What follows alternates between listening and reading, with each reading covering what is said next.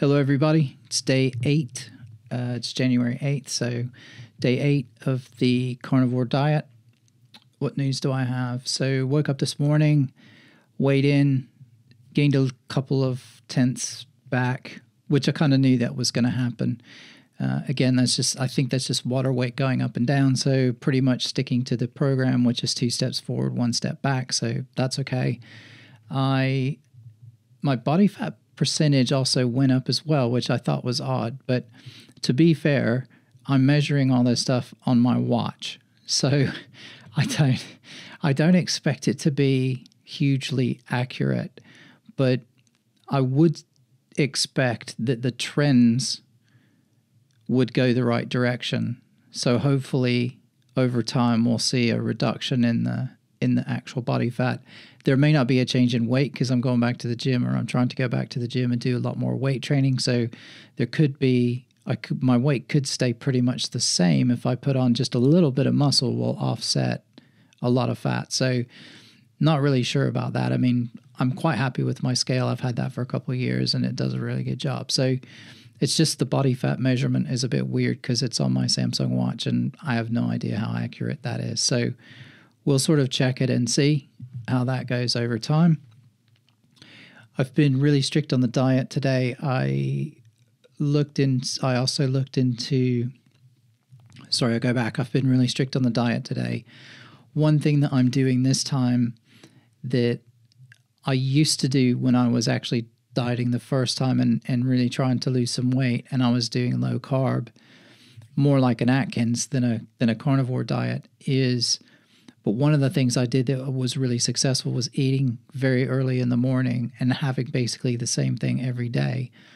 But at least, excuse me, at least when I get up in the morning, I'm usually a little bit hungry. And so just having a bit, even a couple of eggs and maybe one or two pieces of bacon or some, you know, something to to go with it, I think that tends to set me up for the day and it means I don't get hungry and I don't want a snack sort of midway through the morning. So I've been doing that the last few days.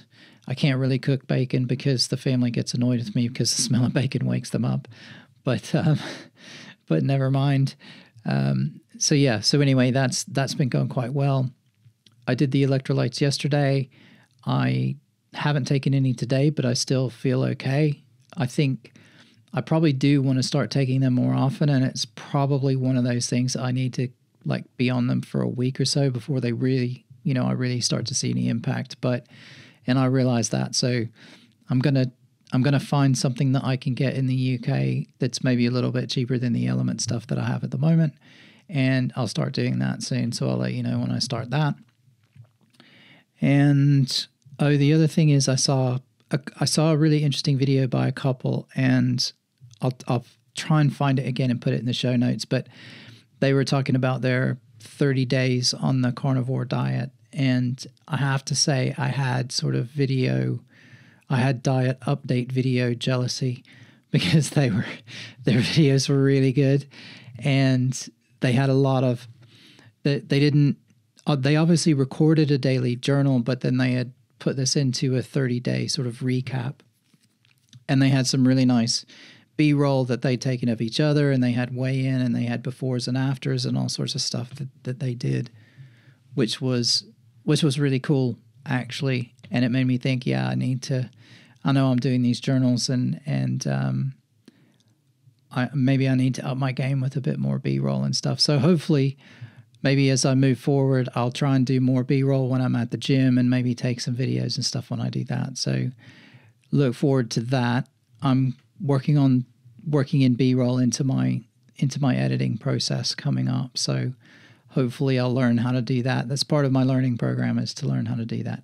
Anyway i think that's enough for today. It's all settled. I'm going to be in cambridge uh, london and cambridge over the next couple of days. So i'm going to be on the road and traveling. I'll probably do an update from a mobile phone or something like that. But the the main thing is I probably won't get to the gym because I'm going to be away from home, but I will be doing a lot more steps every day. So I usually do about 15 to 20,000 steps every time I go to Cambridge because I walk everywhere. So I'll get plenty of steps in and, and get plenty of exercise between doing that and faffing around on all the trains and everything that we do. So, um, yeah. Anyway, I think that's it for today. Looking forward to it. Still feeling good, actually quite energetic and sleeping better. My sleep scores have actually gone up. I don't think I've ever consistently been in the 80s uh, this many days. I think I'm in the 80s three days in a row now, again from my watch. So I don't know what it means, but it seems to be good. So I figure the higher the score, the better.